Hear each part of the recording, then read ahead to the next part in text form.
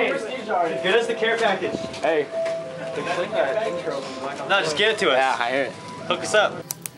Look at that, guys.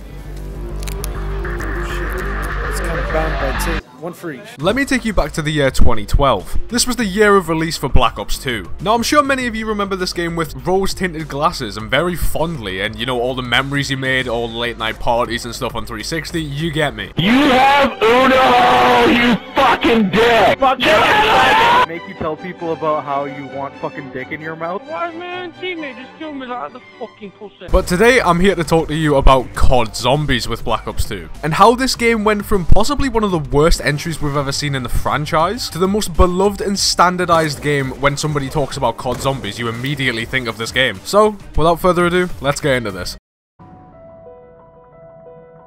Hype from Black Ops 1 was nuts. Zombies was popping off and people were very excited to see where the story and gameplay was going next, especially since we had a new face for the director of Zombies now, Jimmy Zielinski. People were very excited to see where he would take the game and what he would innovate. There was already a large wait between Black Ops 1 and Black Ops 2, and in between it was a Modern Warfare title which had no new Zombies content, so people were pretty much starved and ready for some new Zombies action. It meant that when we finally got the game, people went nuts. From its teaser trailers, Transit was initially theorized to be like a Zombies campaign due to its size and trailer introduction so people were very, very excited for, for this new era of zombies. And lo and behold, people loved it, initially. This is due to a theory of all new COD games I like to deem buyer's remorse. Everybody gets really hyped and adores the game for about a month or so, more like a week nowadays. People take a mental step back and realize the game they're playing and those little things that are creeping up annoying like the turbine and waiting for the bus and the lava and the denizens and are starting to add up. Transit was becoming very much hated by the community. This is not only because of its tediousness, but the way you got around the map from the bus to the denizens to the fire, everything. Nobody wanted to play this anymore. A few people were jumping ship back to BO1 because they know it was a good reliable source for some zombies action. But this was only the beginning of the storm. A storm that could have potentially killed zombies. Surely they had to make a better map than Transit for their DLC one. Come on, it's paid. Is what we all thought.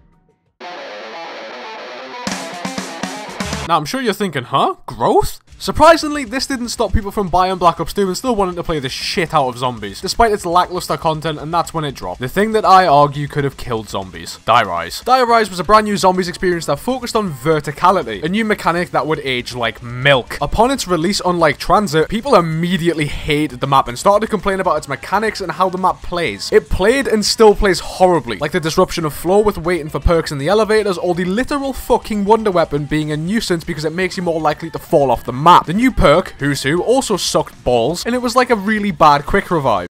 This, however, was the shitstorm before the good. DLC 2, we got Mob of the Dead. This map, in my opinion, was phenomenal. It was due to a new lead and a new era of zombies I like to call the Blundell Golden Era. Holy shit, two eras in one game? What the fuck? It featured a returning idea from Black Ops 1 of a celebrity cast, but this time it was four mobsters that were held up in Alcatraz prison during its operative period sometime in the 1930s for you story nerds. Not only was the story amazing, but the gameplay, oh my god, it was good. You built a fucking plane and crashed it into the Golden Gate Bridge as it was being built. You fed demon dogs to get a boomerang tomahawk, all of this with the new afterlife system, man it was a good time to be a zombies fan. Budget for zombies was very clearly increasing too. DLC wasn't cheap back then, 15 USD a pop? That's extortionate, I'm going back to Cold War Zombie. All jokes aside, Blundell had done it. Blew it out of the water with his new map and was positioned Director of Zombies, meaning that he got the chance to call the shot on the new zombies maps now. That was until we got a very weird surprise, and it was a visit from Zielinski with his DLC 3 buried. Now upon release, people were naturally very skeptical, but found that it was actually a very, very very good map. It flowed very well and had a load of mechanics like Leroy that kept the player busy. Although still janky, the buildable system was refined and we got a conclusive ending to the Victis story. It was, however, the end of the line for Zielinski. And sadly, this would be his final map in Zombies history. It's good that it ended with a banger though. Now hang on just a second. I think I'm forgetting something. Oh yeah, make sure to absolutely annihilate that like button. If you haven't already, make sure to subscribe as if you want to see more video essays like this, it shows me that you guys are in support of it. And if you really, really want to help out the channel and get some exclusive perks, consider becoming a member today. You get some sick little badges next to your name and also get a chance to be in the next video. Like this one I'm about to show you right now. I can't show too much though because it's, it's, it's, a secret. It's a secret. I died on 45. Stop the cap. Died, died. Yeah, I died. Let's go. So yeah, maybe consider it today and you'll be in the next video. Alright, plug over, back to the zombies. And just as the dust was settling from Mob of the Dead,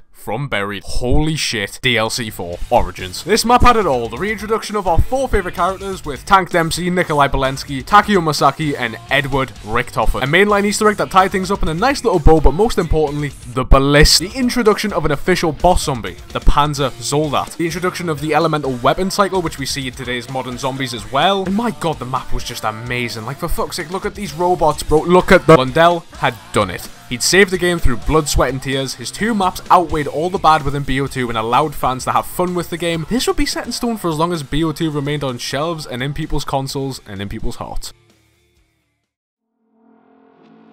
As time went on and zombies became bigger and better, with Sledgehammer even having their own stab at their own iteration, with Extinction and Exo Zombies, BO2 remained the go-to Treyarch game for some zombie slaying fun. Mob and Origins becoming two of the most fan-favoured maps, and even the other ones now become unplayable due to nostalgia and pure curiosity. Although flawed, Die Rise has become widely popular in recent years due to its weird bugs and the unpatching of the Sliquifier by shooting a fucking sign. And its verticality, now aged, does prove an interesting challenge in zombies. Transit, there's no denying the map fucking sucks, there's genuinely no two ways about it, but it showed multiple things. Zielinski was being held back by technological limitations rather than innovation as the 360 and PS3 couldn't handle the sheer magnitude of transit so a lot had to be scrapped to save memory in the very low power consoles. But I found by playing the map with some friends it could be a very funny experience. 10 out of 10 definitely would recommend. Map still shit solo though so fuck that. Fast forward to this year and I feel that Black Ops 2 remains in a loved state. With the recent fixing of the servers from Microsoft and the acquisition of Activision, thousands of new players are swarming the Black Ops 2 servers and it makes my heart skip a beat honestly man, it's so cute. I feel as though Black Ops 2 was also an important stepping stone to get to Black Ops 3. Without it, I feel BO3 would be an insanely different game. There's so much cut content from BO2 that ended up being incorporated into BO3 somehow, and I feel as though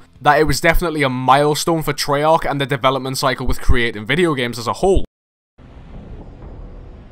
You made it to the end of the video. Well done, and thank you for sticking around. If I had to say one thing that you should take away from this video, it's that Black Ops 2 deserves so much more love than it's getting right now, and it's amazing to see that with these new servers being patched and from Microsoft, that people are really starting to show their love. I've seen people go out of their way to buy fucking consoles to play this game, man. It's like release day all over again. It's quite crazy. But I thank you guys so much for watching this video, and you know, Play some older zombies, you might unlock that little nostalgic spark in your brain that gives you all that dopamine from all the stuff you used to do with your friends, or the online friends that you made before on 360 or PS3. You know, just have a nostalgia day, man. It, it, it's really worth it. I thank you guys so much for watching this video. Shout out to Mr. T Lexify for recording that voice line for me, and I will see you guys in the next one. Peace.